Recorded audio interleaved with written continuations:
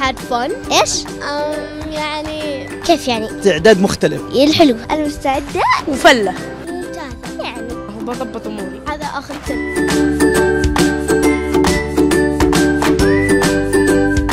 الأيام الماضية كانوا الأبناء مجتهدين جدا.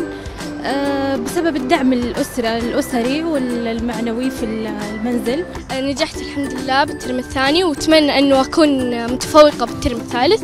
آه، الحمد لله نجحت وجبت درجات حلوة. أخذت 99 جبت درجات حلوة. والاختبارات كانت سهلة. كانت أموري زينة. الحمد لله نجحت. كان معي الترم الماضي مرة كويس والأستاذين حنينين ويحبوني.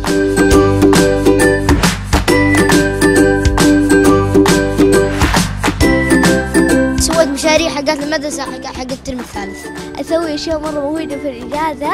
يعني مثلا أساعد أم أمي أسوي يعني معها الأشياء. أنا سويت أشياء مفيدة جدا. ذاكرت ذاكرت عن أشياء وقريت قصص جلست بالبيت آه، آه، أفتح الكتب وأجلدها سويت أشياء مفيدة قرأت قصص. أقرأ كتب. أحب مرات أجلس في غرفتي وأقرأ. أحب أرسم. استثمر وقتي بالإجازة إني أقرأ قرآن وأراجع كتبي. صار استثمارهم أكثر يعني يروح نادي يرجع ياخذ معه وقت مثلا عنده كتاب مفضل يقرأ فيه. يستثمرونها بدورات أما إنجليزية أو دورات حاسب آلي Vacation was amazing. I went to, with my mom at the mall. I had fun. كنت ألعب آه، ألعب مع أختي.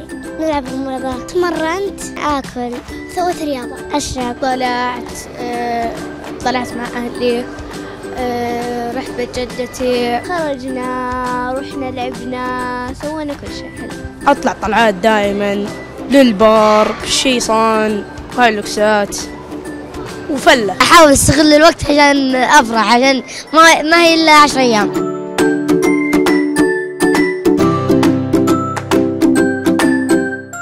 مستعدين إن شاء الله خاصة أن رمضان مقبل آه، فبيكون الاستعداد مختلف لأن يغلب على الطالب السهر في رمضان فإحنا بنحاول الآن أن نخليه يقلل من السهر في رمضان. أنا في الترم الثالث أتمنى أن أحقق درجة زينة وأخذ الأول مثلا. أنا مستعدة آه، للدراسة اشتريت دفاتر واشتريت كراسة واشتريت ألوان. يا رب إني أجيب بالاختبارات النهائية. درجة كاملة يعني. بإذن الله بإذن الله تفوق.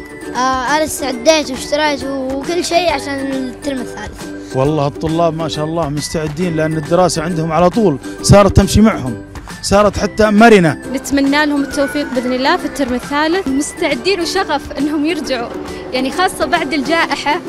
صار التعليم شيء يعني الحمد لله على نعمة التعليم. مستعدة للترم الثالث؟ أنا مستعدة للدراسة. متحمسة أنا أحب الدراسة. يا رب يكون ترم ناجح ومفيد وحلو.